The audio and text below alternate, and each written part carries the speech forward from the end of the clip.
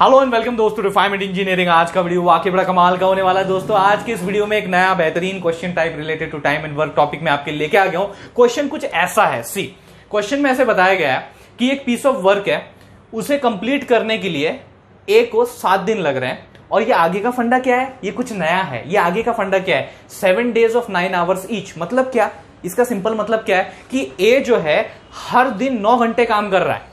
हर दिन नौ घंटे काम कर रहा है। और ऐसे, अगर वो नौ नौ नौ नौ नौ घंटे काम करता है तो ऐसे टोटल सात दिनों में वो उस वर्क को कंप्लीट कर रहा है। Hope you are understanding the point समझ में आया ना? मतलब वो दिन का नौ घंटे काम कर रहा है। और ऐसे कितने दिन लग रहे हैं उसको उस काम को खत्म करने के लिए? सात दिन लग रहे हैं। I hope you are understanding the point तो ये एक नया एलिमेंट है जो क्वेश्चंस में आपको इंट्रोड्यूस किया जा सकता है कंफ्यूज करने के लिए, लेकिन ज़्यादा कंफ्यूज होना नहीं है, ठीक है?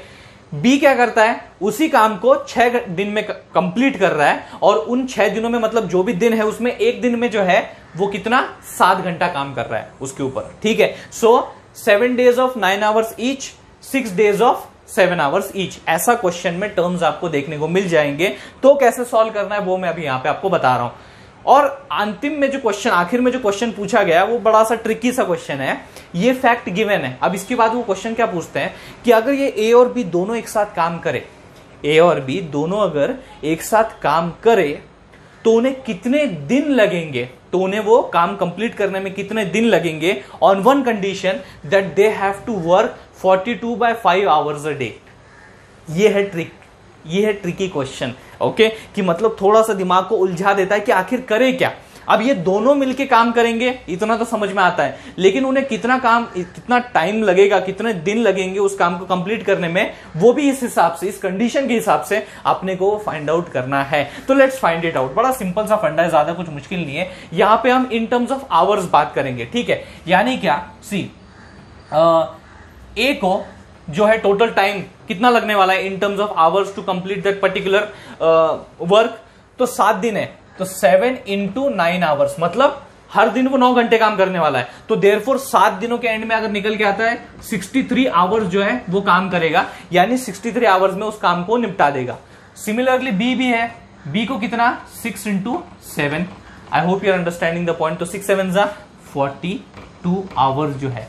42 आवर्स में जो है, वो उस काम को रिस्पेक्टिवली निपटा देगा। बी की बात यहाँ पे चल रही है। तो उस हिसाब से one day one day of a one day of a में कितना काम होगा? That will be one by sixty three और बी के लिए क्या होगा? One by forty two okay not one day it should be one hours because because because we are talking in terms of here hours यहाँ जो आंकड़े हमने consider किए वो फॉर आवर्स तो यहाँ पे आवर आएगा। तो एक घंटे में ए जो है इतना पार्ट और बी जो है इतना पार्ट ऑफ़ वर्क जो है, वो कंप्लीट कर पा रहे हैं। लेट्स कंसिडर कि वन आवर में अगर ए प्लस बी दोनों काम करे तो वो दोनों कितना कर पा रहे हैं? ठीक है। So it's simple as one by sixty three plus one by forty two and the result that you get is five by one twenty six okay तो यहाँ पे सिर्फ़ हमने एक घंटे की बात की है। ओके okay, एक घंटे में इतना part of work will be done लेकिन अगर मैं इंटरेस्टेड हूँ यहाँ पे पूरा वर्क कितना टाइम में वो कंप्लीट कर रहे हैं? कितने उन्हें एक तरीके से जो है घंटे लग रहे हैं पूरा वर्क कंप्लीट करने में? तो that is a very simple फंडा। सी वन आवर में कितना हो रहा है? Five by one twenty six काम इतना पार्ट ऑफ़ काम। तो कितने आवर्स लगेंगे पूरा कंप्लीट होने में? तो इसका जो आंसर है वो क्या होता है? इसी का रेसिप्रोकल सिंपल इसी का रेसिप्रोकल वो हमने कई बार देखा है। So that is nothing but one twenty six by five hour जो है, इतने लगने वाले हैं। ए और बी अगर दोनों साथ में मिलके काम करते हैं और उस काम को फिनिश करेंगे, वो इतने आवर्स में। ठीक है? तो अपने को कंडीशन क्या दी हुई है? एक दिन में इतने घंटे काम करना है। दैट इज़ अगर वन डे में यहाँ पे एक्सपेक्टेड है कि 42 टू बाय फाइव आवर्स काम करना है और अपने को ये पता है वी नो दैट ए और बी अगर दोनों साथ में काम करते हैं तो इतने घंटे में वो अपने काम को निपटा देंगे, खत्म कर देंगे। Now we have to find simply as per this condition how many number of days they are going to work तो उस हिसाब से यहाँ पे एक्स डेज़ हमें फाइंड करना है और एक्स डेज़ में वो कितना घंटे ले रहे काम कंप्लीट करने को? 126 twenty six by five hours I hope you are getting this simple point okay एक दिन कंडीशन क्या दी है? एक दिन में इतने घंटे काम करना है। कैलकुलेशन क्या निकल के आया कि ए और बी इतने घंटे में काम खत्म कर रहे हैं? एज पर दिस कंडीशन अपना एक्स निकालना है अपने को कि कितने दिन लगने वाले हैं। That was the basic question ठीक है? तो एक्स क्या होगा? जस्ट क्रॉस मल्टीप्लाई अगर आप क्रॉस मल्टीप्लाई करोगे तो आपको क्या मिलेगा? 126 twenty six by five is equal to X forty two by five okay यहाँ पे अगर लेके जाता हूँ 126 twenty six by five into five by forty two that is equal to X five five get cancel बंजा that is X is equal to निकल के आता है थ्री डेज़ समझ में आ गई बात?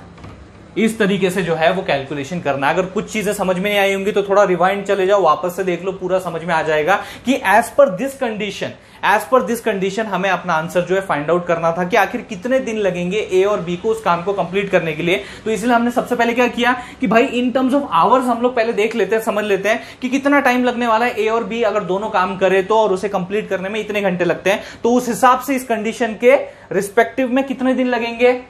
थ्री डेज़ जो कि हमने निकाल लिया। So this was a important part this is a very important part that you should understand I hope you have got the point अगर ये वीडियो अच्छा लगे होगा तो लाइक कर दीजिए। उससे भी ज़्यादा इस वीडियो को शेयर कीजिए अपने सारे दोस्तों के साथ। थैंक्स अलॉट दोस्तों फॉर वॉचिंग दिस वीडियो